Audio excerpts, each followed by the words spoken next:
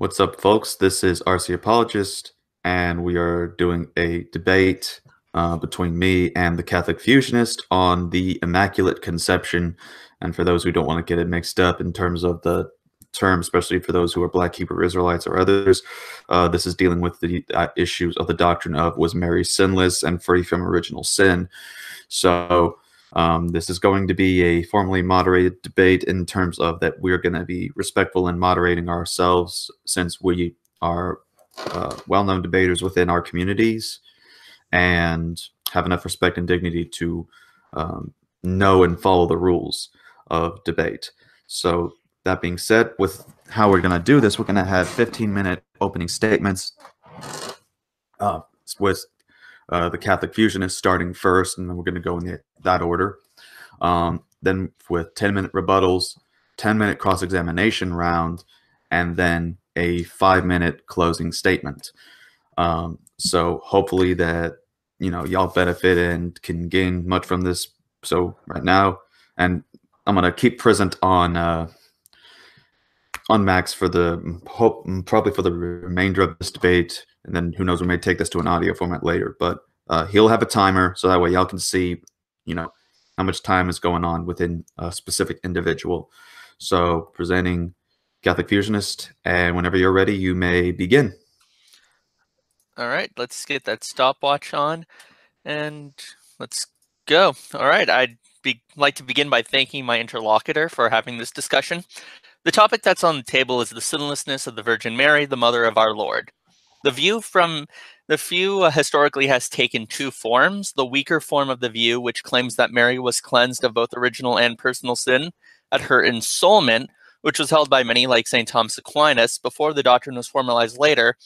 And the stronger claim, which was that she was free from sin at her conception, thanks to the work of the blessed Duns Scotus. I will be defending the latter, but if my opponent wants to win this debate, he should refute the former as well, because the sinlessness of Mary is not something that was always so well defined.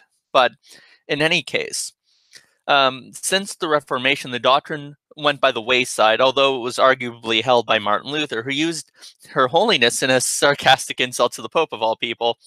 He said, Then we shall sing the glad hymns to your hellishness, Virgin, before and and after childbirthing since you are the pure Virgin Mary who has not sinned and cannot sin for evermore.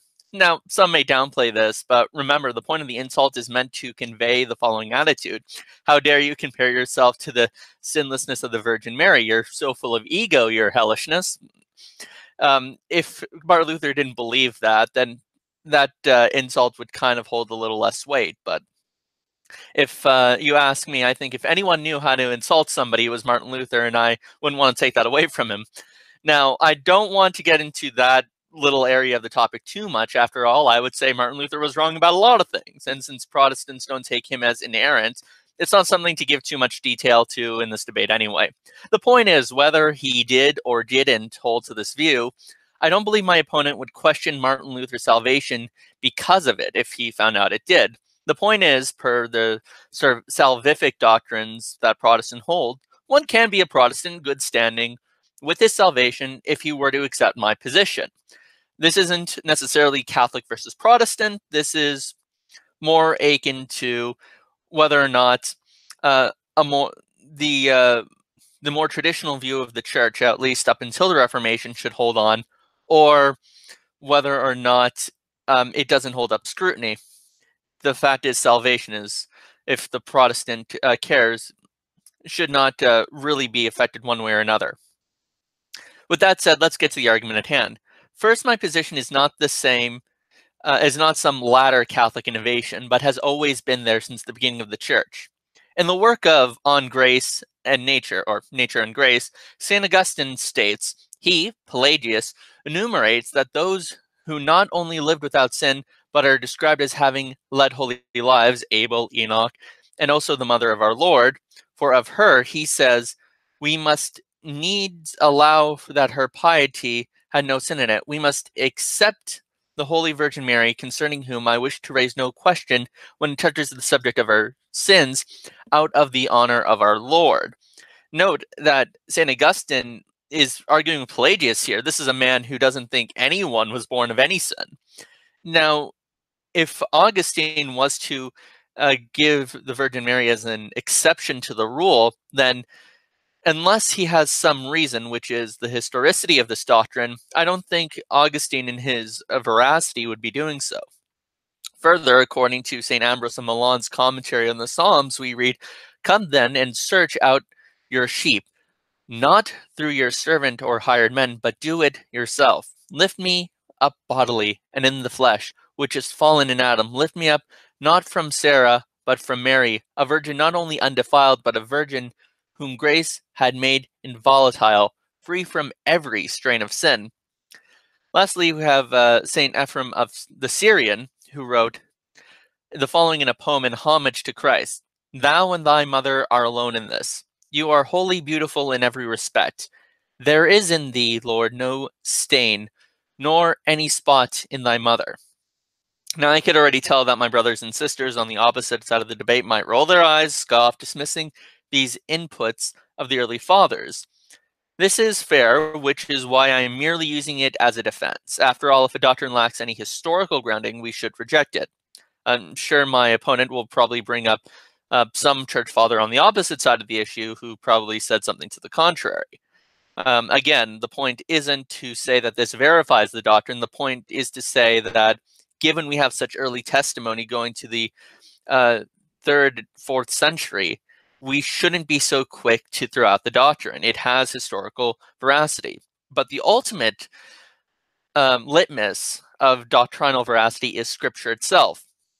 Now, I do grant that there's nowhere in Scripture that explicitly says Mary is free from sin both at conception and and onward. However, there is a strong implication that she was sinless, and I'll be and I'll make some arguments for that from Scripture. I think the strongest place is in Genesis 3:15. We read, "I will put enmities between thee and the woman, and thy seed and her seed. She shall crush thy head, and thou shalt lie in the weight of for her heel." The verse in question is challenged because the word she is also translated as it, that, or he.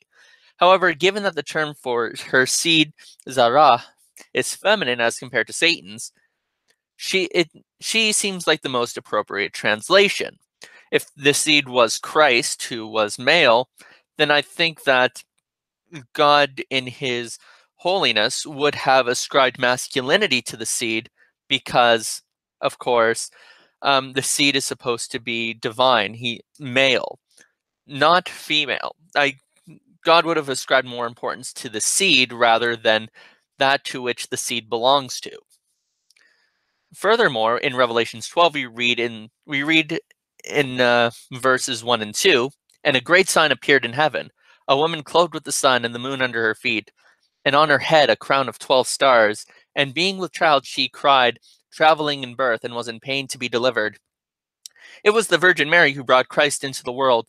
She is the woman, and as a Jewish woman, she maintains the crown of 12 stars with the sun and the moon, as in Genesis 37 9 to 11 where uh, we saw i believe it was joseph who had the 12 the who had uh, 12 stars bowing before him some might say that this woman of the apocalypse is israel the nation or even the church but given that revelations revelation is written at a time when the jews betrayed christ i doubt that there are some who interpreted the church as the woman, but it was Christ who brought us together, not the other way around. However, let's grant for the sake of argument that those interpretations um, are stronger than they appear. I'll even grant my opponent this. It doesn't rule all of them as being true, as the book of Revelation does allow for multiple readings of one symbol. This calls to mind um, one particular passage as proof. This calls for a mind with wisdom. The seven heads are seven mountains on which the whore of Babylon is seated. They are also seven kings. Revelation 17, verses 9 through 10. Uh, here we see uh, seven heads representing two different things. I don't think it's impossible that those that that verse represents the church, um, New Israel, Old Israel, and of course the Virgin Mary. Since of course they're all of Jewish origin, and they all in some way bear relation to the to our Lord. However, going back to chapter 12, we read on, Therefore rejoice, O heavens, and you that dwell therein, woe to the earth and to the sea, because the devil is come down onto you, having great wrath, knowing that he hath but a short time. When the dragon saw that he was cast into the earth, he persecuted he uh, prosecuted the woman who brought forth the man child and there were given to the woman two wings of a great eagle and she might fly into the desert unto her place where she is nourished for time for a time and times and times a half from the face of the serpent and the serpent cast out his mouth after the woman water as it were river that he might cause her to be carried away by the river. And the earth helped the woman, and the earth opened up her mouth and swallowed up the river. And the dragon cast out of his mouth. And the dragon was angry against the woman and went to make war with the rest of her seed, who keeps the commandments of Christ, of God, and the testimony of Jesus Christ. Here, the woman of the apocalypse is the hostile force used against Satan, and she uses her seed to make war against him. She is who the prophesied uh, foretold. It seems now God is using the woman as a way of fighting against Satan. Not even just the woman, but her very existence. She is prophesied, she is foretold that her sole purpose is to bring God into the world so that the devil might be driven out. According to 2 Corinthians 4 4, Satan is the God of the world. And according to Christ, if Satan drives out Satan, he's divided against himself. How then can his kingdom stand? In Matthew 12 26, um, that's what we read. If Mary is to be, be a hostile force against Satan in her very existence, she must be separate from the influences of him in the world. Since Satan is responsible for the sin of the world, it follows she must be separate from all sin. To put the argument more syllogistically, premise one, that which cannot drive out Satan is not of Satan. Mary's whole existence is meant to drive out Satan. Therefore, Mary's existence is not of Satan. Um, from that, if we know something is sinful, it is of Satan. Of course, uh, he is the father of all lies. And since Mary's existence isn't sinful, and therefore, um, um, since Mary isn't of Satan, her existence isn't of Satan, it cannot be sinful. Um, because her existence is literally to go against all of Satan. All right, so how am I doing for time? 11 minutes. All right. I should probably go quickly. Uh, further in the passage within Revelations, we keep Mary. We read that Mary is kept away from the influence of the dragon, who is Satan. So this all gives a pretty good argument on its own. But let's go over a few others. How about her comparison to the Ark of the Covenant? The Ark of the Covenant is supposed to be this holy dwelling place of God. And we read in scripture these following commonalities. Samuel, uh, 2 Samuel 6 9. And David was afraid of the Lord that day. And he said, How can the ark of the Lord come to me? Luke 143. And why is it this granted to me that the mother of the Lord should come to me? 2 Samuel 6:14. And David danced before the Lord with all this meant with all his might. And David was um, girded with uh, linen, ephod, and uh, David leaping and danced before the Lord. Luke 144. For behold, the voice of the greeting came to my ears, that the babe in the womb leaped for joy.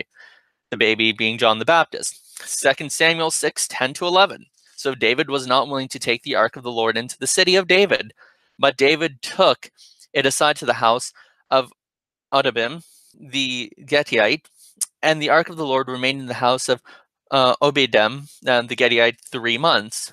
Luke 139 uh, verse, and of course, uh, Luke 156. In those days, Mary arose and went with haste to the hill of the country to a city of Judea.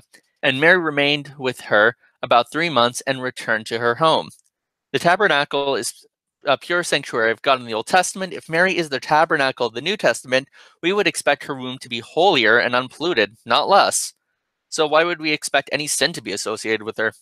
Lastly, if we look at Luke 128, we read, The angel being come in said to her, Hail, full of grace, the Lord is with thee. Blessed art thou amongst women. If Mary is full of grace, she cannot have any sin, as it is grace, the unmerited favor of God, that drives out sin. It is not a temporal event either. She is already filled with uh, grace. It is titular, uh, related to title, before she accepts her role in giving birth to Christ. The grammar is a passive middle voice. It represents a state in the past which has an effect on the present. Think of Paul's warning to us not to be conformed to the world in Romans 12 2. He's telling us not to act in a way which is already conformed to the world, because to be conformed isn't just one act, it's a habit. It is further the only time in Scripture the term is used, referring to no other human, while Stephen is referred to as full of grace and power. Grace is adjectival in this case, speaking to how he is acting. We all act out of grace, it isn't a t- but it isn't a title to anyone except Mary.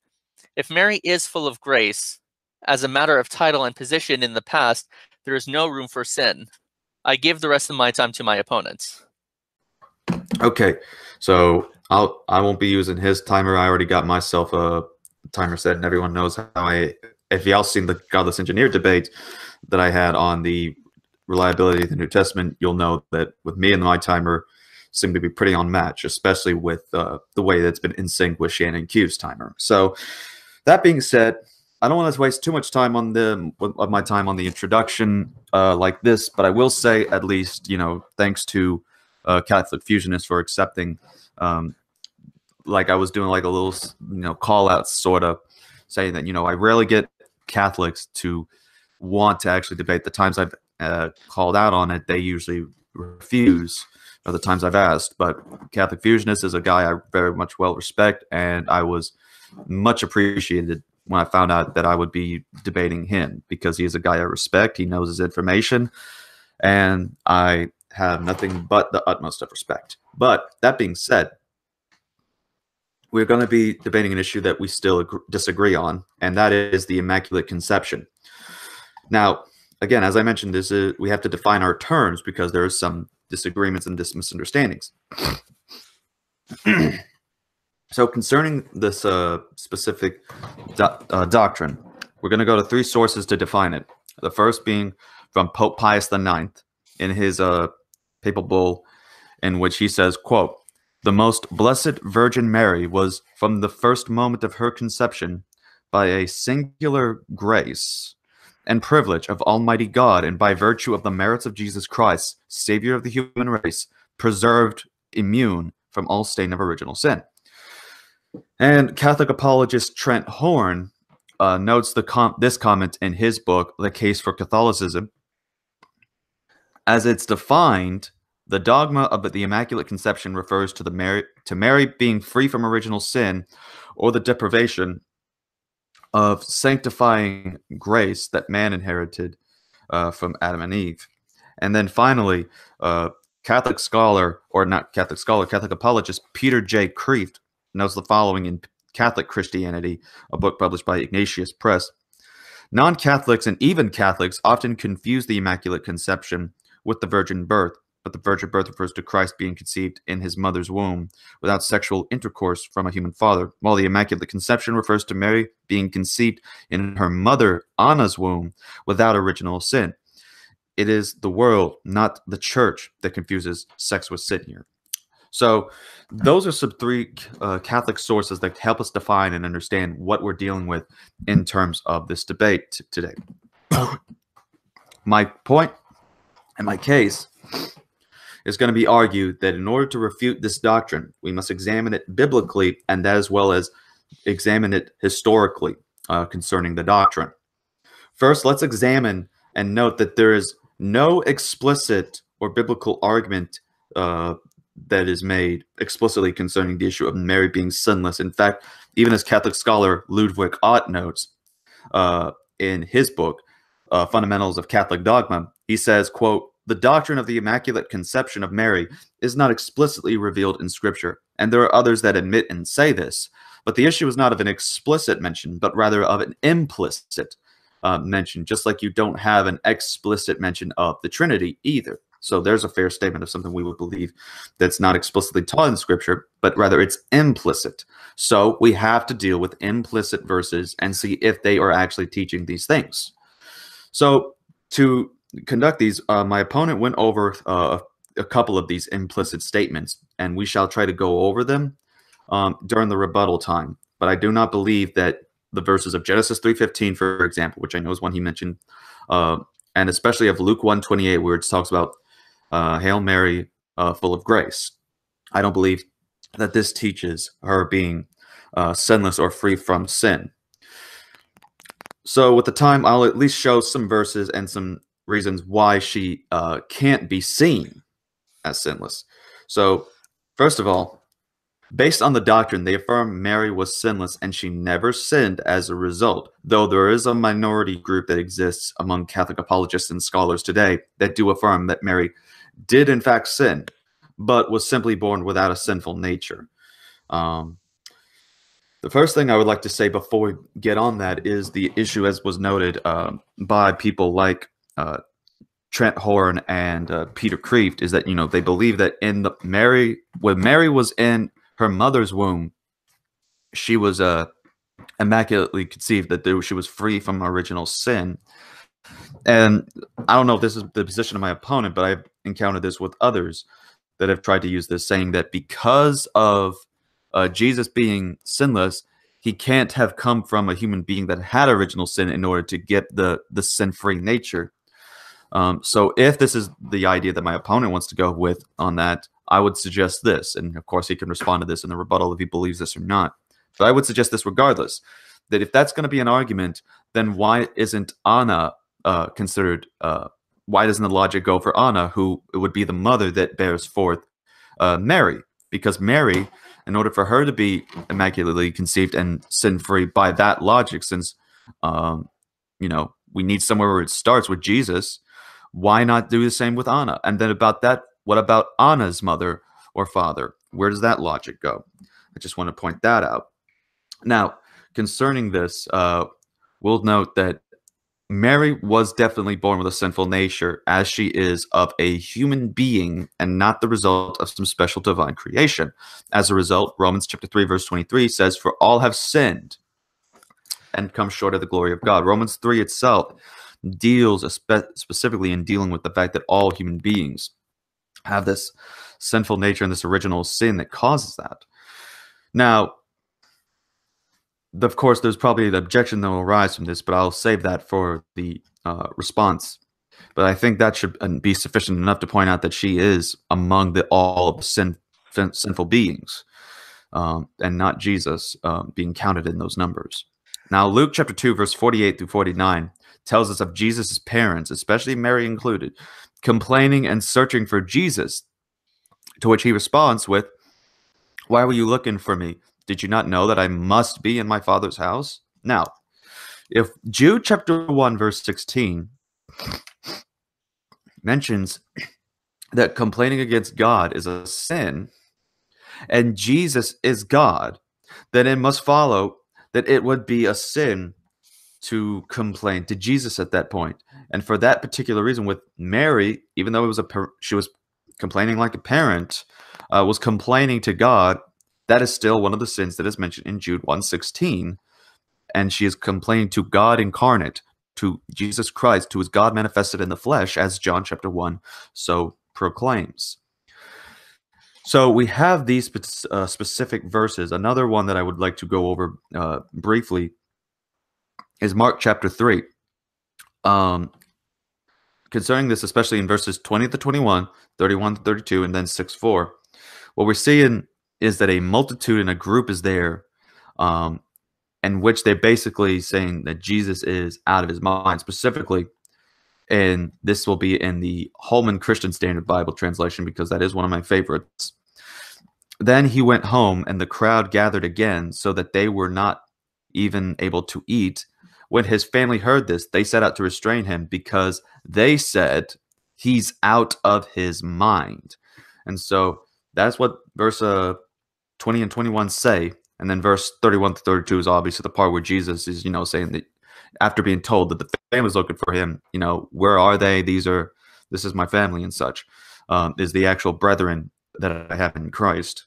And so the very fact, though, that they're saying that God is out of his mind, now that is certainly a sin, especially when you hear skeptics and atheists today say that God was out of his mind for causing a flood to go out.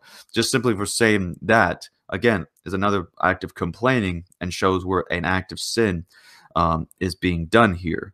Now, in the context of Jesus being followed by a crowd who wants him to do miracles, Jesus was so preoccupied with them that he couldn't even eat due to this overwork, and his family said he was out of his mind.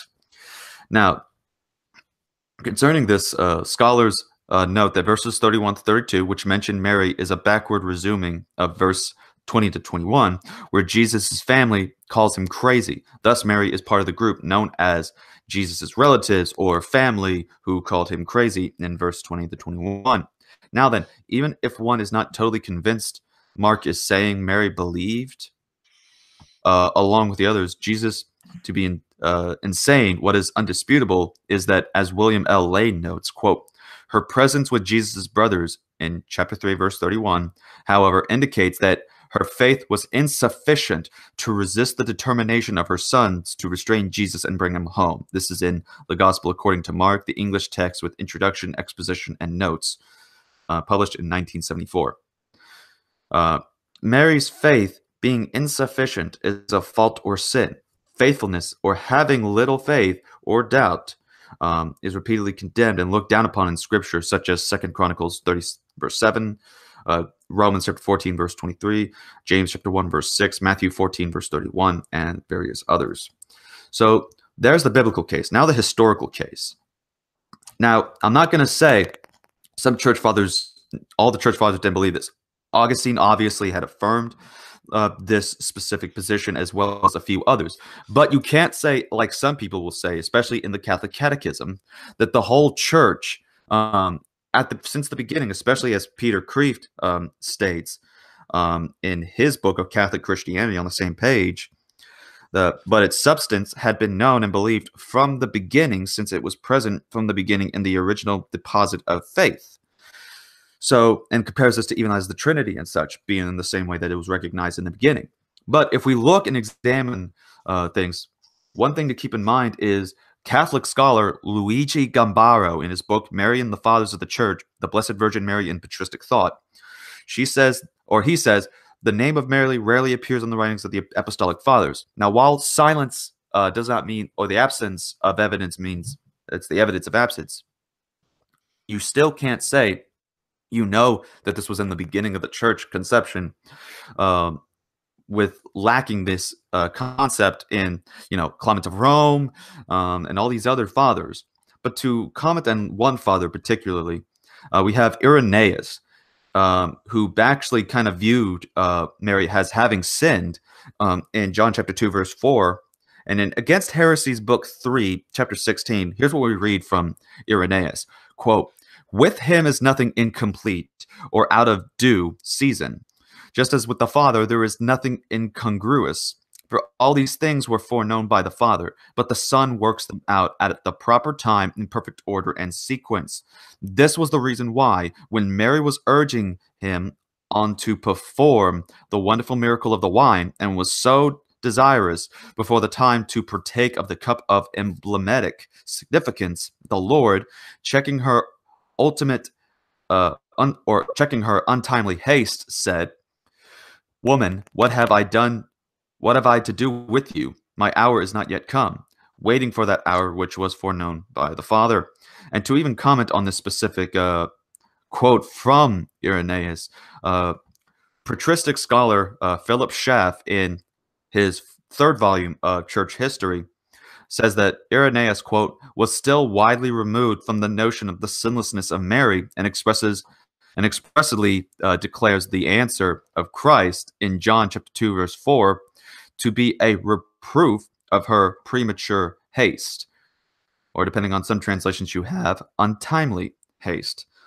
So concerning uh, this issue i think i've made a case uh, within the opening statement but we can expound on it more within the opening sta- within the rebuttal rounds that we have but here's what i would suggest that while the thing has some historical merit in terms of later centuries, you then still have doubts that go on even once you have Ignat- uh, Augustine.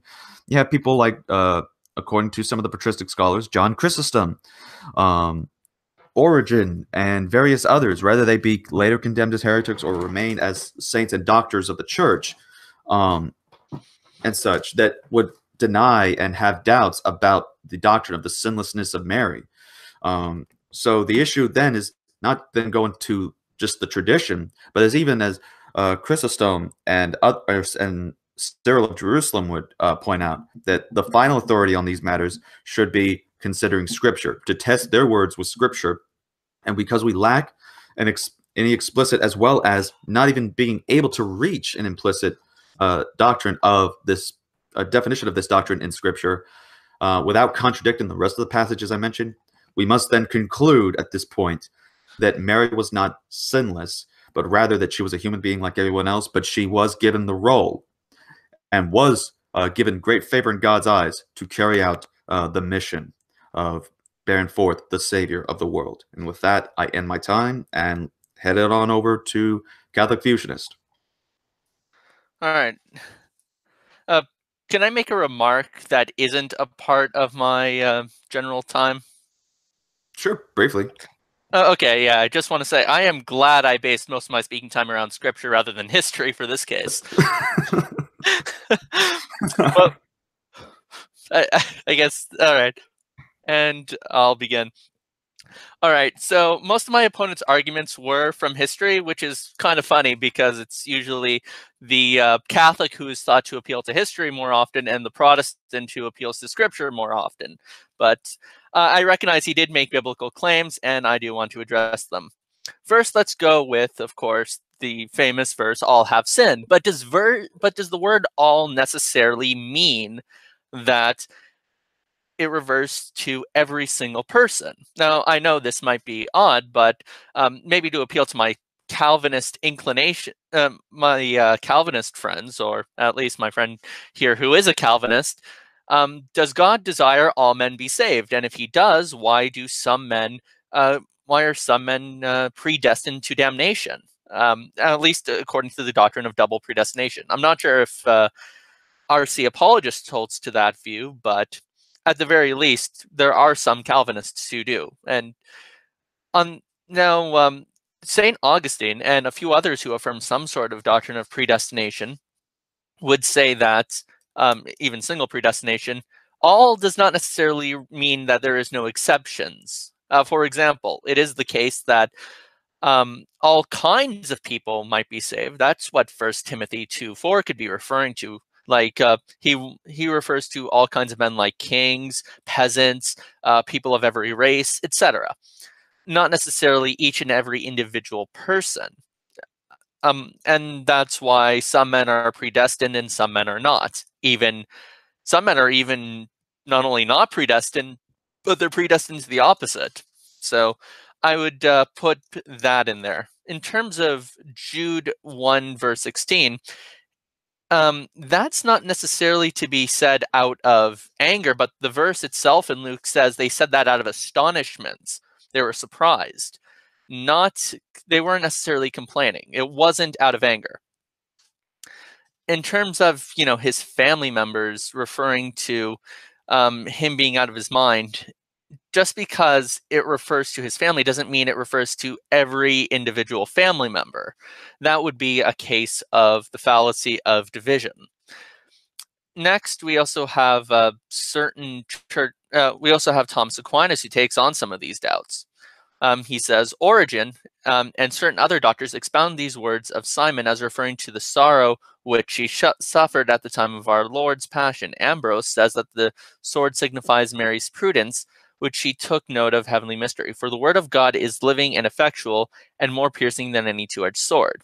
Others again take the sword to signify doubt, but this is to be understood of the doubt, not of unbelief, but of wonder and discussion. Thus, Basil says that the Blessed Virgin, while standing by the cross and observing every detail after the message of Gabriel and ineffable knowledge of the divine conception, after the wondrous manifestations of miracles, was troubled in mind.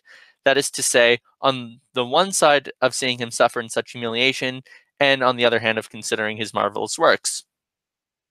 Likewise, likewise, um, they likewise, whenever somebody ex expresses a form of doubt, it could just be taken to mean um, doubt as in wonder, I can't believe this. Like, not necessarily a literal one, uh, a literal notion of faithlessness. In terms of the history, I don't want to say too much about it, considering my uh, opponent is someone who is a proponent of sola fide, or sorry, sola scriptura. He, he believes that scripture is the strong is the final authority, or at least the very strongest. So if he's not taking the history too seriously, I don't want to push too much on that. Um, um, by the way, what was uh, the time schedule? Ten minutes or five minutes? Ten minutes. Oh shoot! I really.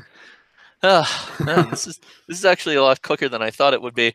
Um, yeah, I do. Part of me wants to yield my time, but the other part, uh, um, okay, maybe I could address the Irenaeus claim because I'm not explicitly sure that he did deny it. At least I want to add a little bit of doubt. Um, he's uh, let's see. I'm trying. I'm trying to find the quote here. Um, he says um, uh, and against all heresies. Consequently, then, Mary the Virgin is found to be obedient, saying, Behold, O Lord, your handmaid, be it done to me according to your word. Eve, however, was disobedient, and when yet a virgin, she did not obey, having become disobedient, was made the cause of death for her and for the whole human race. So also Mary betrothed a man, but nevertheless a virgin, being obedient, was made the cause of salvation for herself and for the whole human race. Thus, the knot of Eve's disobedience was loosened by the obedience of Mary. What the Virgin Eve had bound in unbelief, the Virgin Mary loosed in faith. Here, Irenaeus is using virginity as the sign of her sinlessness. And since, of course, um, she was a perpetual virgin, um, despite being betrothed to a man, remained as such. Um, so it seemed so it seems to me that if she did, was sinless and she remained sinless, and her virginity, sorry, if she was a virgin and remained a virgin, and her uh, obedience corresponds to that, it also would correspond that she never would have sinned herself. So that's at least a little bit of doubt in regards to that. And of course, even all these church and even uh, the uh, RC apologists himself know that there were Catholic, a minority of Catholics who believe that it just refers to Mary having a sin nature, not necessarily um, that Mary uh, didn't sin. So it's possible that these church fathers could have granted that Mary sinned in some capacity, but that she just didn't have a sinful nature. And if that is a possibility, which I'm not saying it is or isn't, then you could then it wouldn't rule out that in an early understanding of the doctrine before it was fully developed and fleshed out by the church that could have also have been permissible to hold on to. Um, again even thomas aquinas didn't believe that she was immaculately conceived but that she was immaculately ensouled. And so did a few other church fathers. I mean uh, Patrist, uh scholastic sources so with that out of the way, I think that we've uh, covered the objections from Scripture pretty well, and I think I've done my best to mitigate the counterexamples from history. And with that, I'll end my time a little early. All right. Oh, and uh, set and start when you want. All right, I'll I'll take two of that if you don't mind. Two of my minutes, and unless you want me to stick with ten. Uh, can you stick to ten? I mean, yeah, yeah, yeah. Uh, I, I, I, I'll do um, nine if you want. aim. How about this? How about you aim for ten, and gotcha. if you and if you're still in the middle of reading, I'll let you have two more. All right then. All okay. Right, so let's go. Here we go. Um, so let's uh, deal with some of the claims that have been made. Um, I didn't get a chance to get all of the notes that were done, but I will at least go over as much of them as I can um, in regards to this. So now I like how my opponent uh, mentions the issue that you know concerning the all we calvinists also do a thing where we say well in some cases does all mean all? Um, or does it mean a certain kind or a certain limitation or exceptions? To which i would say that this should also uh, after this debate and consideration if catholics are going to say this then hey why not go a step further and do the same thing with election and come on over to the calvinist side? Uh, we'll, we'll, we'll but that's too much to ask for at the moment so let's just stick with the topic and deal with uh, the thing that you know if Christ, if he says all have sinned, then would that include Christ or is Christ an exception and therefore Mary can also be allowed as an exception to the rule? Now, however, the issue is that even in this uh, chapter, Christ being made as an exception is within the verse. if we uh, look at this approach, here the problem is that it does not take into consideration that Paul excludes Jesus from the all have sinned group in verse 23. And he doesn't do the same concerning Mary. Because if you see right after verse 23, Paul represents Jesus as the unique solution to the problem of Mary's sin problem in verses 24 and 25, proving that he does not fall into this uh, global class of sinners by virtue of his uh, nature. Uh, hold up. So going to Romans 3 to provide this context. So it says, of course, uh, all have sinned and fallen short of the glory of God. They are justified freely, verse 24, by his grace through the redemption that is in Christ Jesus. God presented him as a propitiation through faith in his blood to demonstrate his righteousness because in his restraint God passed over the sins previously committed. So we see that Jesus is made as an exception in the very passage. But do we see this going on with Mary? I don't think we see this going on at all concerning Mary. My opponent mentioned concerning Jude 116 and then the comment of Mary in uh in the gospels is that well that can't be considered uh kind of because well it isn't she wasn't um it is doesn't say she was angry or or that, that that's the specific sin that's going on in Jude 116 is that it's some sort of uh, anger. Um, so that wouldn't mean it. But here's the verse, and this is again in the Holman Christian Standard Bible. Uh, funny how I'm probably gonna get some hatred by the King James only camp uh, for this debate here. Um, but it says these people are discontented grumblers, walking according to their desires. Their mouths utter arrogant words flattering people for their own advantage. So the issue, even within the context that there are certain people that um, are condemned here under a context, even then, the sin that they're condemned for is not necessarily the context that they have, but also of the that the fact that that uh, thing that they did led them to commit these sins, being discontented grumblers, and that they utter arrogant words. Now, obviously, for this case, uh, we can agree, hopefully, that Mary was arrogant concerning why Jesus was, you know, having to be there and why they couldn't find him. Um, and so that's basically the point that Jesus then got uh, was trying to respond to. Um, and so then discounted, discontented grumblers or her speaking arrogant words.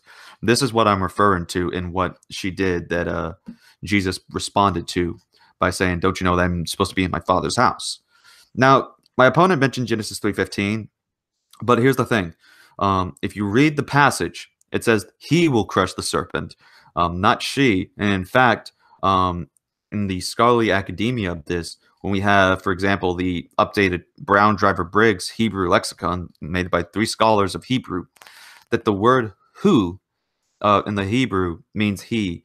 Uh, now, while there are variants that can mean she or it, concerning this specific instance, the Brown driver Briggs set, affirms that for this context, it is he and not she or it um, as the correct option for Genesis 3.15. This will definitely be found in page 215 of your 2010 edition of the Brown driver uh, Briggs lexicon.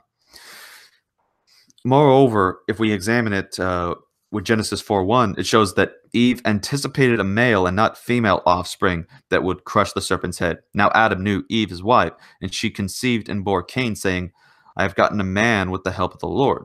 So a prophecy that gets uh, sort of emphasized there. This appears to be a positive exclamation, indicating that Eve inferred the 315 promise of a future seed who destroys Satan was fulfilled with Cain's birth. Though incorrect about Cain, this does not help us know 315 refers to a male offspring crushing uh, Satan's head, not a female. so, the Hebrew Old Testament scriptures were translated into uh, Greek in the third or second century BC.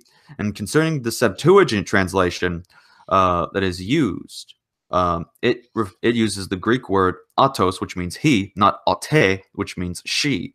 So even in the Septuagint, which is a translation that would have been familiar to Jesus and the disciples and the audience that he would have been speaking to, especially those of the Gentiles, um, he would have been using and referring to this, um, which includes he, not she. So the main problem that's I've seen this happen with the Catholics is apparently that you know Pope Pius uh, the ninth you know erroneously thought that you know it is she because is using the translation of the Latin Vulgate from Jerome, who erroneously translated um, in the four, in the late fourth century this word uh, to be you know ipsa, meaning she instead of a he. Um, and so this is where I believe the error occurs here. But here's the interesting thing to even note: um, even Catholic uh, Bishop Alphonsus Liguori uh, from 1696 to 1787 commented on this problem prior to Pius IX's definition. He says in The Glories of Mary, uh, published in 1981, quote, she will crush your head. Some question refers, uh, some question uh, whether this refers to Mary and not rather to Jesus, since the Septuagint translates it, he shall crush your head. But in the Vulgate, which alone was approved by the Council of Trent, was fined uh, she. So the evidence shows uh, concerning this that Genesis 3:15 means is God puts enmity between Satan and Eve, between Satan's seed and Eve's. Uh, so Jesus and Eve's offspring will crush Satan's head, and Satan will bruise Christ's heel. Mary is not the one who crushes Satan's head. This fact has been uh, conceded by uh, Rome for what we know. And for example, the Neo Vulgate, the Nova Vulgata translation of the Bible, authorized by the Vatican in 1979, changed the feminine ipsa into the neuter ipsum, thereby correcting the Vulgate. Um, and in turn, Pius IX, no longer uh, do you have uh, she will crush his head. And even the Catholic Encyclopedia um, in volume 7 published in 1913 says, quote, the translation she of the Vulgate is interpretative. It originated after the fourth century and not can and cannot be defended critically. The conqueror from the conqueror from the seed of the woman who should crush the serpent's head is Christ. And this is from Charles George Herbermann, a Catholic who uh, makes comment on this.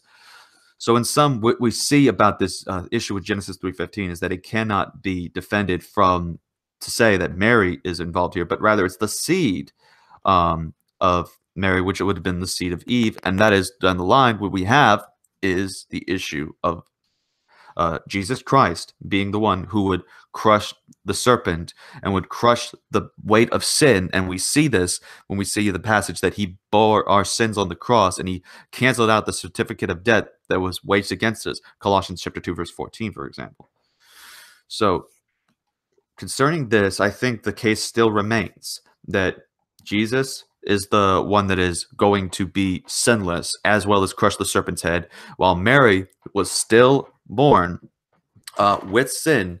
But however, because she was found favor with God, not full of grace and sinless, as Luke 128 uh, is misinterpreted by some people, but rather that she was found favor, and because the Holy Spirit came upon Mary, that's what caused Jesus to be sinless because it wasn't by a sexual reproduction in the natural human world, but rather it was strictly by the power of the Holy Spirit. And the Holy Spirit's work is able to do all things. We cannot be able to, we're not saying that we can limit the Holy Spirit. So is it possible for the Holy Spirit to immediately just give Mary uh, a child that is free from original sin?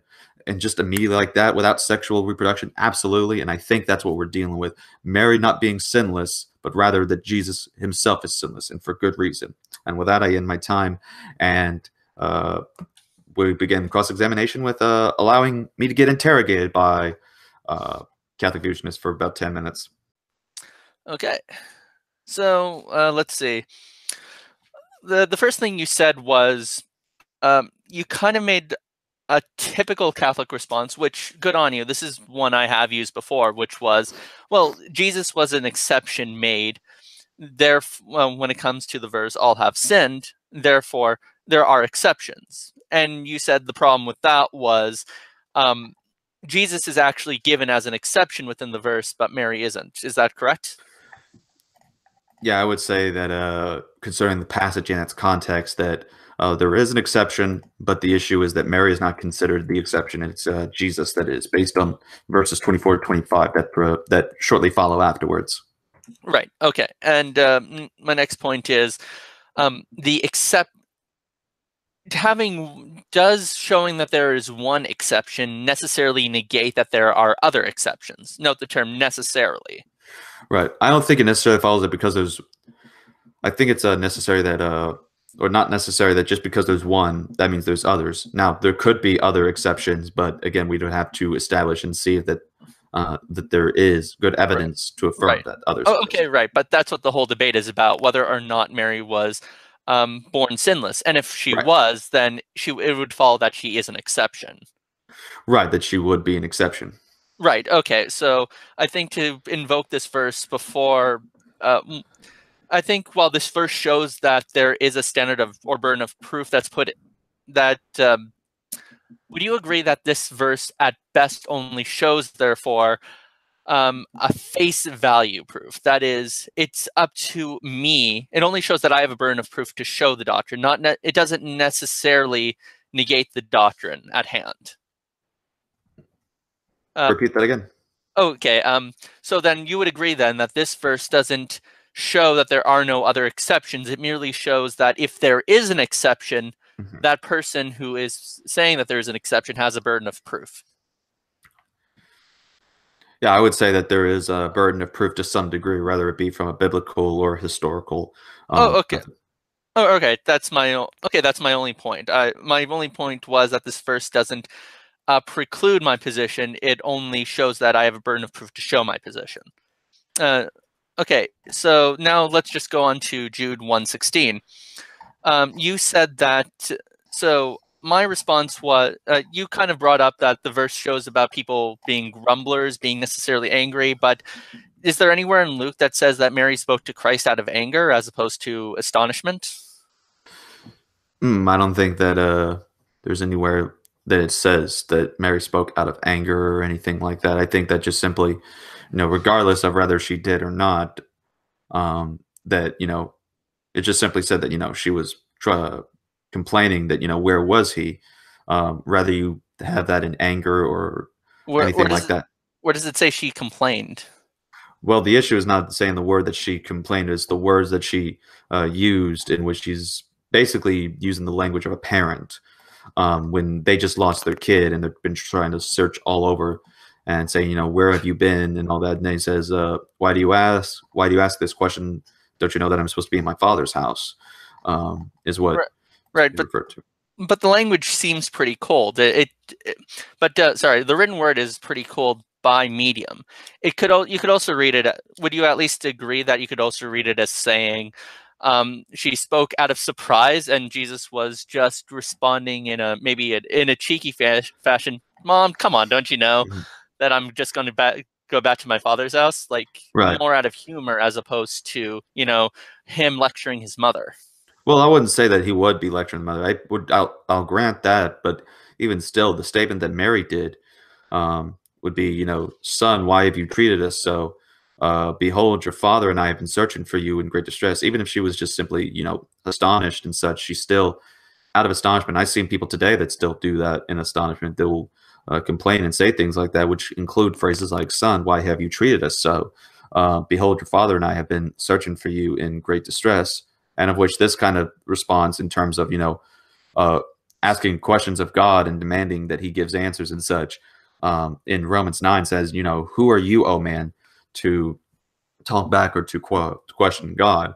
So I think we see consistently within the Bible, within Jude 116 and Romans 9, and see the same pattern happen in Luke chapter 2, verses 48 to 49. Uh, this pattern, even if Jesus wasn't explicitly rebuking or even rebuke it at all, the issue is still the fact that she still committed a act that is declared as a, a sin within the text of the Bible.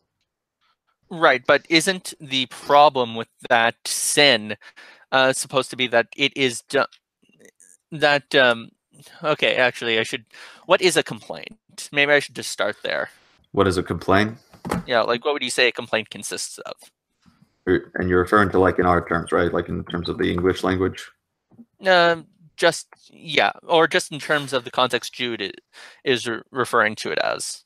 Mm-hmm.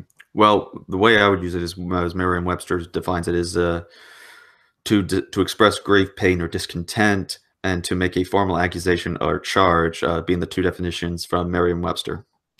Right, and is G and is she accusing him of uh, causing distress? She accusing of causing distress. Uh, I don't think she, there's uh, anywhere in the context. right, so she's not faulting him. Then how can this be a complaint? Well, that the issue was going to the second definition. The first one being to express grief, pain, or discontent, um, especially pertaining to something. Is she's saying, "Why have you treated us so?" And the, what she's referring to then is saying, "Behold, your father and I have been searching for you in great distress." Uh, so she's basically saying that you know, "Why have you treated us so?" Uh, is the issue of being missing, like a child being missing and running off at a at a fair, which is something I did, and the parent is very worried and distressed and such. So that's why saying, son, why have you treated us so? Um, so this would be based on that definition of Merriam-Webster as a complaint. Right. So when the Bible says that God is responsible for something, like let's say the hardening of Pharaoh's heart, is he blameworthy for Pharaoh's actions? You say that again. You kind of broke up there. Oh, oh, my question is: Is God guilty of hard when Pharaoh hardens his when God hardens the heart of Pharaoh, and Pharaoh uh, causes evil because of what God uh, caused? That is the hardening of Pharaoh's heart. From that, does it follow that God is to blame for Pharaoh's actions? If God is to blame, no, it doesn't follow that God is to blame for Pharaoh's oh, okay. actions. All right, all right. So just because Mary says that Jesus caused distress, does it therefore follow that he is to be blamed for his for their distress? No, it doesn't follow that he is to be oh. blamed for the distress, and that wasn't my argument. Right, and uh, does it follow that she is blaming him for his distress, for her distress? It would follow, yeah, that she's basically blaming uh, for the distress, right. and that's why I think right. it would violate with Romans nine. Oh, all right, so I'll stop you right there then. If uh, where does it say that he is at? Where does it? Uh, where in the verse does it say she is at fault? Uh, she is laying fault at him for his distress, as opposed to um, showing a causal relationship. Like he's missing, um, therefore, and that caused distress, as opposed to you went missing, therefore you are to blame for my distress. Could you repeat that again? Okay. Um, how are you getting that she is blaming Jesus for the distress of her and her husband as opposed to her just describing a causal pattern? You went missing and you caused this distress. Mm-hmm. Well, concerning that, I would say it's in the context of the specific issue that's going on, and that is that in uh, verse 48, uh, says that, you know, when the parents saw him, they were astonished. And his mother said to him, Son, why have you treated us like this? Your father and I have been anxiously looking for you. This is in the Holman. Oh, okay. Um, so why were you searching for me? He asked them. Didn't you know that I had to be in my house? The issue then is it says that, you know, you've treated us like this. And if you read the other, the earlier passages, it says after three days, meaning that it took three days, that they find him in the temple complex sitting among the teachers. Um, so uh, Jesus stayed behind in Jerusalem uh, during their return, and the parents did not know that he was uh, staying behind. Um, All right. Assuming he was in a traveling party, they went on a day's journey, and then three days later, they eventually had to find him. Okay, I've only gotten 30 seconds, so I'm just going to leave it there and give it to the audience to judge. Um, mm-hmm. The last one is, Grant. Even if I am a minority view uh, regarding Genesis 3:15, um, how is it not possible that it is but that uh, Mary what Mary's whole existence is still set aside for the purpose of crushing the head of the serpent with Jesus. Like it does it not like her very existence is still to give birth to the Messiah and he is to crush the head of the serpent. Right. Um but I think that because of Oh uh, oh sorry. I I think that's it.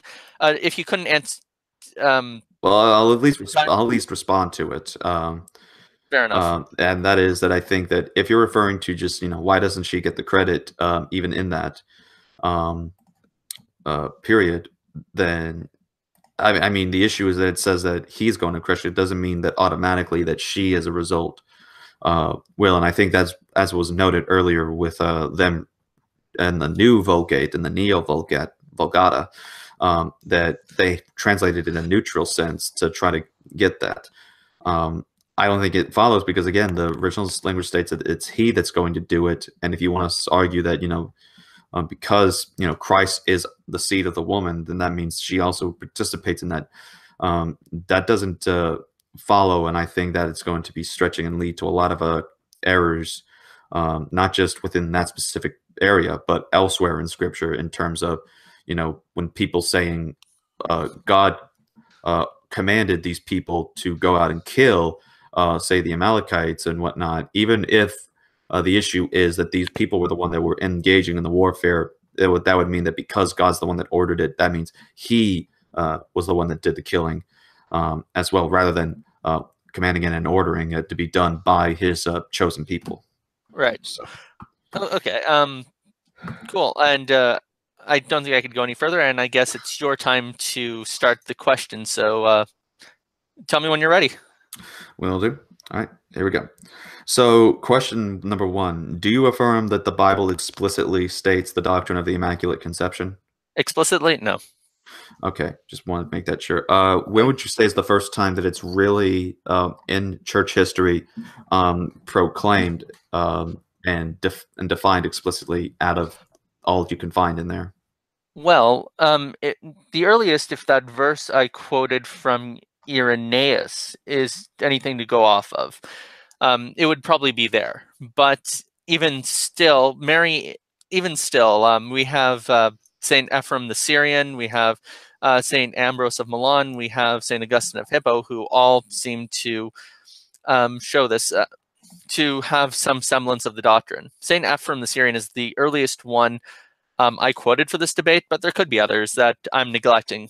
It should also be noted that um, these are I didn't put too much stock into looking through history to begin with because mm-hmm. I wanted this mostly to be script uh, scripturally based, mostly okay. because I wanted to win over my Protestant uh, brothers on the other side. All right, that's fair enough. Um, so concerning that, um, let's go then to a verse. Do you think that Luke one twenty eight uh, affirms the the doctrine of the Immaculate Conception? Um, yes, it would kind of entail that. Okay, and you would get it because of the phrase that's used in some translations, uh, full of grace? Correct. Do you believe that's an accurate translation of the Greek word? As opposed, if yes, it's synonymous with highly favored one. What does grace but mean but caritas? Caritas means favor. If she is full of grace, if she is highly favored, then it follow then the definition should be synonymous, at least as they're both understood now and then. Mm-hmm.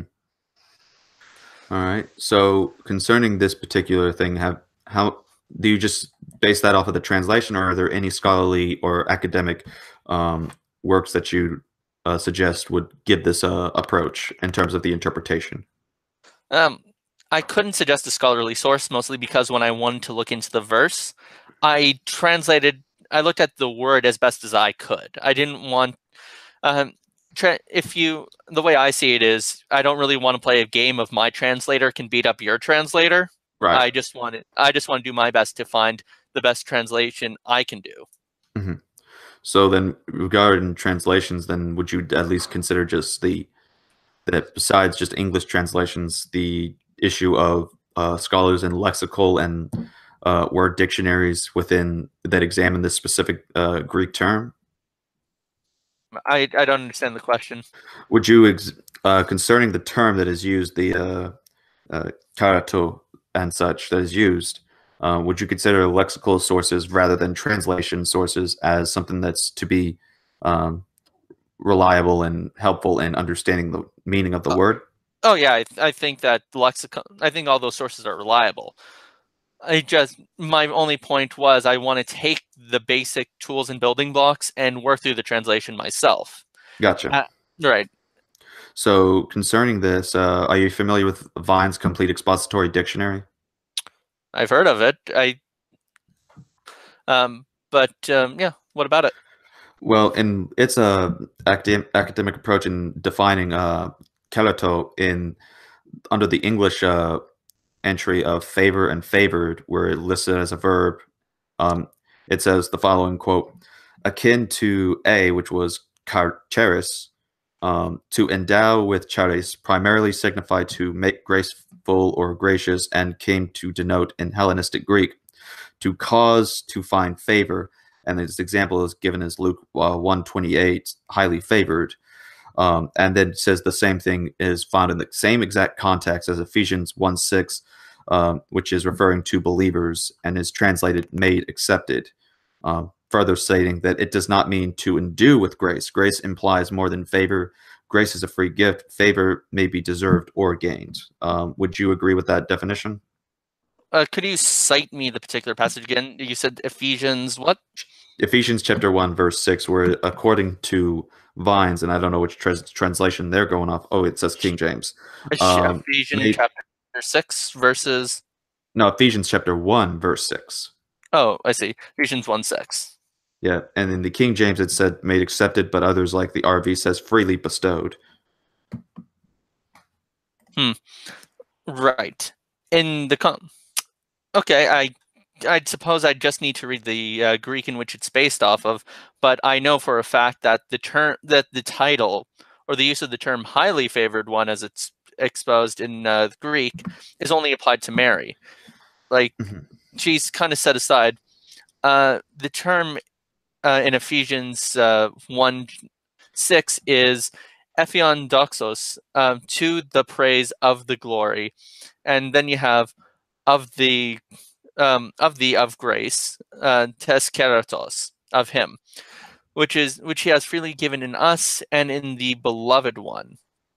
So um so here we don't have keratos as being a matter of degree. We only have keratos being a matter of kind. So when it says highly favored one of Mary, it's not just saying that she has grace. Of course she has grace. Um, but the title is she has she is full of grace or she is the highest of those who are favored mm-hmm. or being highly favored. Uh, that's what I'm specifying to. Okay then. Uh, usually um yeah so that's um so that's usually what i'm getting at all right so concerning this uh to uh, I'm, I'm going to assume that uh, Jimmy Akins is a is a favorite of yours in terms of Catholic apologetics. He's all right. I mean, in ter- I mean, in terms of Catholic apologists, I usually tend to deal with um, not more natural theology. All right, that's understandable. Okay, so um, in a article that was uh, written for, or in terms of actually, it was something he said on the Catholic Answers uh, at one point. Um, James Akin mentions, "quote and it's and so it's the Immaculate Conception, something that is consistent with and coheres with the use of the word kecharitomene there, but it's not something that the word kecharitomene." Uh, requires. This is a Greek term that you could use in the exact uh, grammatical formation for someone else who wasn't immaculately conceived. Would you agree with the statement from James Akin here? I think he grants too much. so I wouldn't grant that. Uh, I don't like if J- if James wants to grant that himself. I see no reason why I should. I'd have to look into his claim just out of prudence, if you understand. All right, I'll uh, I'll send you that link in case you want to check that out from his words, and then do uh, some research on that. Um, so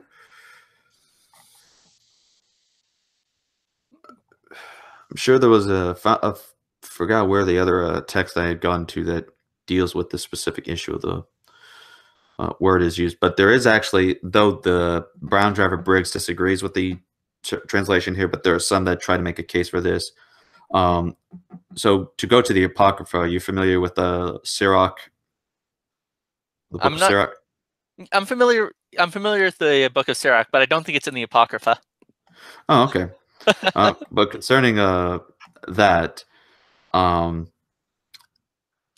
with it, with it, in the Septuagint, it uses the Greek word um, that is the same thing uh, that is used in Luke chapter one verse twenty eight. But it uh, says, you know, "Lo is not a word better than a gift, but both are with a uh, gracious man." The term "gracious" there is one that is described as what Mary is called the the highly favored. Would you consider that in that case in uh, Sirach, or as others have said, Ecclesiasticus, that that's uh, referring to someone that would be sinless because it uses the term uh,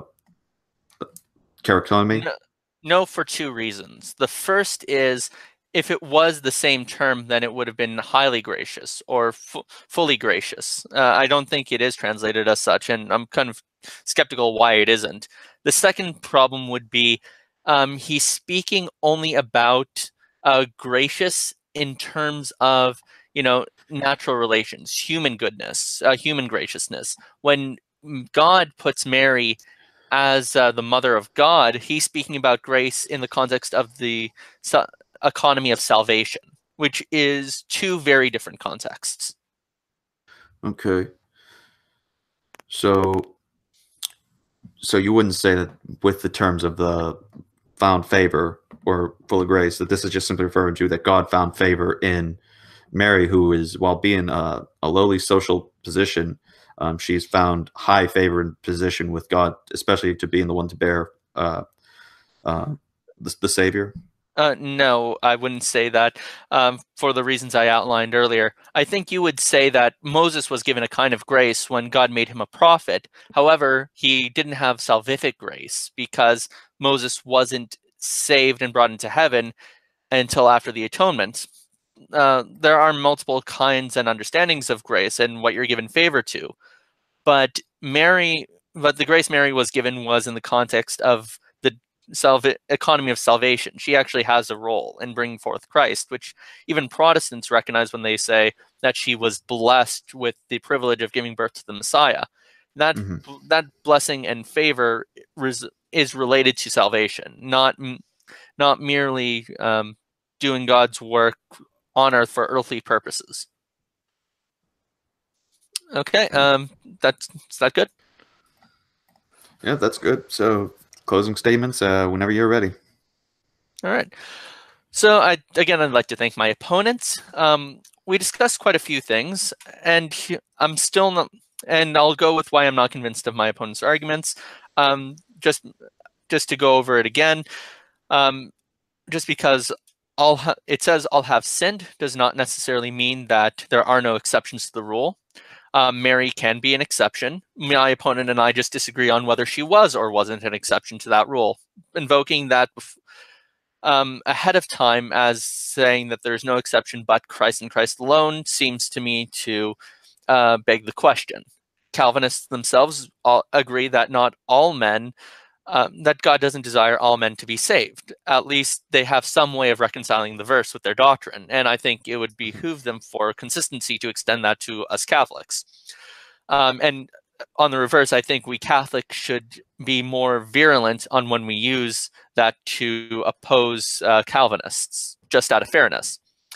I'm not, con- again, I am also not convinced that Mary said what she said um, as a complaint I don't think when she said that she said it out of uh, out of a way of signifying doubt or signifying complaint. I think she was honestly surprised with the whole event.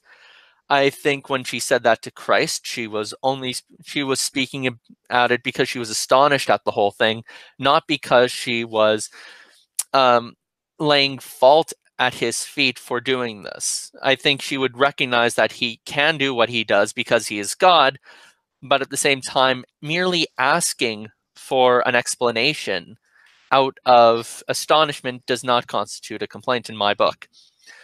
And anymore, even if God is at the cause of it, it doesn't follow, as with Pharaoh, that God is responsible for some kind of wrongdoing.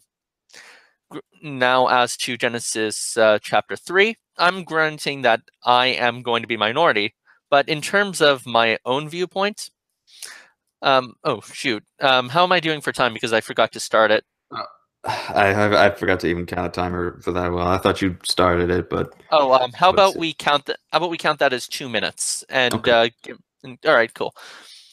Uh, so three minutes, and I'll count on you to say stop. The we okay. Um, next. Okay. Uh, furthermore, when it comes to uh, Gen- Genesis three, I grant I'm the minority viewpoint view but it also but even if we were to grant that it was a him who was the seed my argument still maintains it a strong um, my argument doesn't really follow any weaknesses. After all mary is still predestined to be brought up for the sake of bringing forward the seed who is christ and having him bring down satan. The the woman is still prophesized in revelations chapter 12 as doing this, that's what her very existence was, at least according to John. Um, and it says, um, and the dragon was angry against the woman and went to make war with the rest of her seed, who kept the commandments of God and have the testimony of Christ. So Mary is, so at this verse, Mary and Eve can be two parts of the same woman. They could both bring forward the seed who is Christ. The old Eve, of course, disobeys, whereas she, as the new Eve, does obey. And it is, her, and because she is the seed that kept the commandment of God, and that that she would be thus responsible for um, um, being part of Satan's downfall. And because Satan, that is not which of, and because Satan cannot drive out Satan, she must be kept apart from Satan in doing so and in obeying, unlike Eve, who disobeys. All right. Um, next, and uh, what else is there? I should also bring out that my opponent had never once addressed the comparison of Mary to the Ark of the Covenant. The Ark of the Covenant has the properties of being in of being pure. They it has the properties of being holy. Now, I'm not saying that you couldn't touch Mary out on the street if you didn't want to. I'm speaking about her properties in the womb, not necessarily her properties as a whole person. But it would follow that if there was some impurity about Mary, including her body and her biology, you know, because we get sin is co- is uh, compared to a lot of, of the time of being of the flesh, then she would have to be kept pure. Otherwise, we'd have to say that the Ark of the Old Covenant and the Old Covenant itself has something which is superior to that of the New Covenants, which I think would be um, something no Christian would want to affirm. And the various verses I've given to show that parallel should be given heed. I think that's the strongest argument, and it's not one my opponent has addressed. And with that, I'll end my conclusion. All right. I will then make my five minute closing statements, and as such, um, that I'm again thanking uh, opponent for accepting the debate and having this. Um, so I, I, think we've covered a wide variety concerning the issues and the topics that we've dealt with. Of course, I didn't get to do, discuss the issue of the um, the arc. Um, I probably missed I missed that during the uh, opening statements, but I will say at least concerning something that uh, uh that there are some scholars that even as Catholics, um, like Dr. Raymond Brown and Joseph Fitzmyer, in their books, uh, you know, Mary in the New Testament, among other works, uh, that while they concede people have been trying to make this, they don't, them as Catholics don't agree and come to these uh, same conclusions. So, I mean, I will do my best to examine and search for these uh, uh, specific passages. But however, the issue that I want to deal with in my closing statements is this that if all that you've heard, I hope you consider the case that one, it has been even admitted by my opponent, there is no explicit uh, declaration of this in Scripture. So that's why, um, if we're going to deal with this, it must be from an implicit recognition. And even from that, we went over at least two verses: Luke chapter one, verse twenty-eight, and Genesis three fifteen. I I challenge anyone to do a study of these and what I will guarantee is that for most of this, if you don't allow your tradition to control you and your um, examination of these verses, and you do um, your work in examining the scholarly world and the scholarly peer-reviewed papers in the academia, as well as even the commentary uh, itself that you can find on these specific, specific uh, books of the Bible, um, you'll have uh, you'll come to the same conclusion with me that this is not proclaimed that immaculate conception or that Mary was sinless and free from sin. Um, that is something that I st- strongly have confidence in. Now, I could be wrong on how some people may come to the conclusion, but out of a majority, I would say that a majority would come to the same conclusion that I come at if you don't put any of the tradition, rather it be the tradition that I have or the tradition uh, that my opponent has, that you would come to the conclusion that we uh, that I am established in the debate. But that being said, that what is at stake? Why is this such an important issue concerning Mary being sinless or not? And it's this because one, you have the issue of Mary. Mary is uh, the one who gives birth to the Savior, and she uh, being given the same kind of uh, attributes, if you will, of that Jesus Christ, who is God manifested in the flesh, has, especially with terms of sinlessness, among other doctrines. I believe that this um, elevates Mary to the point where I will just say what I believe that this results in some form that can lead to a form of accidental Mary worship um, and raising her to a goddess. Um, now, do I say that Catholics are indeed worshiping her? No, I do not say that they're intentionally or doing that at all. Um, but some could fall into that risk. Um, and that is why I am suggesting uh, that if we just examine the Bible and examine these verses, um, and testing that uh, and testing the church fathers and others with scripture as they would so uh, among people like Cyril of Jerusalem and others would advise advise us to do so, we would come to the conclusion that Mary was not sinless um, or uh, born without uh, the stains of original sin, as Pope Pius IX had stated, but rather that we would get that she was a sinful human being like all others, but this does not nullify or degrade her, but rather that she was still found highly favored with God into the fact that a person, a person like her, of a low social status, um, was given such an honor, such a benefit to be able to give birth to the Savior of those uh, who have sinned, and so that when he came to the cross, Jesus Christ, being the one who would crush the serpent's head, when he came to the cross, died on the cross, shed his blood as an atonement for the sins of sinners, so that in him we find salvation and redemption, including that of Mary um, as a result. And so I think that if Mary was alive today, she would recognize and tell us this.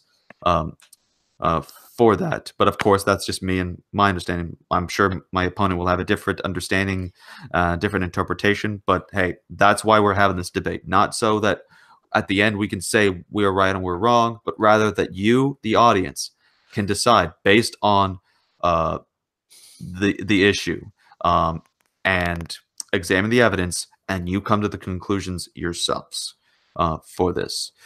Uh, so that being said, uh, this has been the uh, the debate. So, um, what do you think you did best, and what did you think you did worse? Like, what could you have worked on better, and what you could have? Uh, uh what do you think you just nailed? Well, I think that you know I could have uh, learned more from the issue of uh, studied more because there were there is concerning the research that I was getting into there was an article that I looked and saw that was dealing with Mary being the ark and such that would deal with the whole thing extensively. Um, but I apparently had missed that and would didn't consider that that was part of the issue of the topic, especially when I was examining um, the works of Trent Horn in the case for Catholicism, and when I was looking over at uh, Peter Kreeft's uh, Catholic Christianity book um, the other day at Books a Million. So uh, I think that would be you know, kind of where I made a mistake there is that there were some things I wasn't too prepared for, which was specifically that. But otherwise, I think I did pretty fine. Oh, yeah, actually, I would say you did a good job. Um, my tip to you would be um, usually the best people you debate against aren't going to be people who repeat the same talking points as other apologists. So you always have to be prepared. Um, but I think another thing you did well was citing other Catholics because that's something like if I'm going to say well, my weakness, I should have I should have done my part in due diligence to bring in other Protestant theologians and scholars. Um, I think that's my one weakness, but I think a strength I did was sticking to Scripture, mostly for uh, this debate, because I think that Protestants uh, are like part of my dealing with Protestants is you guys if I was to cite history and do it well, I always feel that even if they granted me that, they could always lean back on just scripture alone and their specific passages as a trump. So I always feel that history, while nice, needs to oh when discussing with Protestants needs to take a back seat in for the purposes of convincibility. Mm-hmm. I do want to ask this that since you did mention that, uh, when I've had, there's like I said, there's people I've tried asking for to come to this uh, discussion or debate on these kinds of issues. Um, and at one point, when I would try to go into the Catholic scholars, they kept claiming that I'm quoting them out of context, um, and that not that if I were to keep reading, it would actually, you know, refute and contradict what I believe they're saying. Do you believe that that's what I was doing at all? I have no reason to believe that's what you're doing. It, I granted it, you could be doing that, but I have no reason to believe that's what you were doing. All right, that's understandable. All right, so All right. Uh, if as as a Catholic, and we're you know we're criticizing each other's views, do you feel like there was any disrespect uh, towards some of the, especially towards the last uh, closing statement that I said, or like what are your thoughts were on that in terms of conduct? No, I thought no, I thought you were really respectable. All right. And okay, and uh, how did you? Th- and actually, just to get some reflection on you, what do you think were my strengths and uh, weaknesses? Um, for your strengths and weaknesses, I think that the fact that you know you, like you like you pointed out with me, that you know I stick. To, I try to use Catholic scholars as well as even some of the history to deal with the issue with the my Catholic friends. Um, uh, you tried to do yourself a sola scriptura uh, aspect um, in approaching this, which um, I think shows a, a, an idea of using uh, what I've always uh, asked for people is using like a consistency or even scale kind of thing. Like I will do the same thing when I deal with the the Muslim um, opponents and apologists. Is that I go to the Quran, the scholars, the Hadith, um, and the tafsirs um, that help boil down what specific verses or hadith mean, as well as uh, essential doctrines of Islam and such. Um, last night, we actually showed a quote from a Muslim scholar that showed a sort of binitarian um, view where Allah has a face. Um, but they, while saying that he has a face, they don't, they still don't liken him to his creatures um, as a result. And this was a majority view in uh, Egypt, uh, Syria, Lebanon and all that during that time that this specific scholar was alive um, during a, a, time of Islam. So I, you know, things like that I think is important that we use uh, consistent consistency and using our opponents' uh, standards against them, especially in terms of using their own means of doing of engaging in apologetics, especially in you using sola scriptura against sola scripturists and me going to some of the tradition as well as pointing out Catholic scholars uh, in terms of you. Hmm. All right. So, okay, that's fair enough. Um, now, in terms of uh, uh, in terms of understanding the sinlessness of Mary, that's what you kind of uh, when you sold me on this debate, I wasn't sure if it was on the Immaculate Conception necessarily, because there were people who believed Mary was sinless, but she wasn't immaculately conceived. Likewise, there were scholars who believe that she just had a sinless nature, but doesn't mean she didn't sin. Um, right.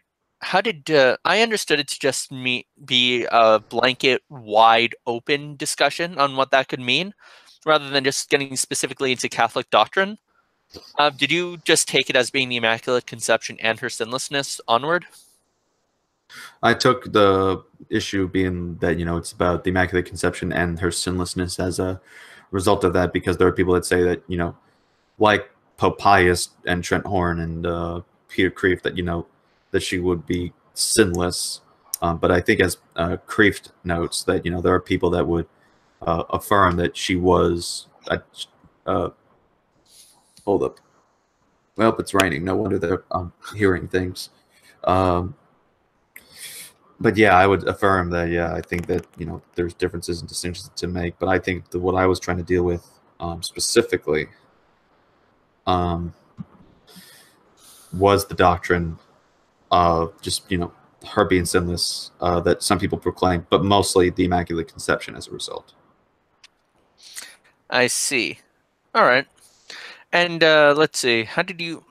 What was my best scriptural support, and what was my worst scriptural support? Ooh, good question. Um, I think that your uh, your best uh, scriptural support that you uh, tried bringing to the table was Genesis. Uh, well, I think concerning that, I would say Genesis three fifteen, since that's the main one that I uh, heard and dealt with. Um, because some people can try to say, especially if we uh, go to the, uh, I don't know if if out of the different translations you prefer the the, the Vulgate or the Neo Vulgata Neo Vulgata um, in terms of uh, which you would prefer to use in terms of uh, traditional uh, Catholic mm-hmm. standard. Um, but I would say that you know uh, Genesis three fifteen would probably been the one that you used that I would have said was your best shot. Mm-hmm. So, I see, and um, all right, cool. And which one was and uh, by and conversely, you would say that Luke, uh, chapter one verses one twenty eight would be the weaker one. Yeah, I think um, that, that, that would. Yeah, I think that would be a bit of a, a weaker uh, one, in my opinion. I see. Okay, that's fair. Um, I think you, on the converse, I think your strongest was actually um, um, the complaint at the temple, but I think your weakest was um, citing the the passage, "All have sinned and fallen short of the glory of God." I, I think that uh, your Calvinism kind of. I think if you were an Arminian, that verse would have been stronger, uh, yeah. because an, an Arminian uh, doesn't uh, believes that both that verse and all have sinned and fallen short of the glory of God, uh, God desires all men to be saved. He would say that no, no, both are you know fully encapsulating. But um, I guess that's not worth sacrificing your Calvinism for. Well, I think there would be something that I think, as I tried to mention, that there is a distinction we uh, try to make, and that is that the context would help identify uh, when an all means an all, and when a certain kind means a certain uh, kind, and what the distinctions are. And I think it depends on the context. And I think that's where Romans uh, 3 verses uh, 24 25 help fill in that context for uh, for us. So that I think that as long as we do that, then it would definitely be consistent. Otherwise, um, if they just use that alone uh, without trying to go anywhere else, I think that that will definitely be the Calvinist apologists' uh, downfall. Mm, okay, fair enough. All right, and uh, yeah, okay. I'm. I think I'm good on the discussion. Unless you want anything to add. Um, none that I can think of. All right. Um, cool. Um, if you, this debate was uh, pretty fun, and uh, thanks again for hosting. Hey, no problem. And for all those who are watching, hope you benefited and learned from this. Uh,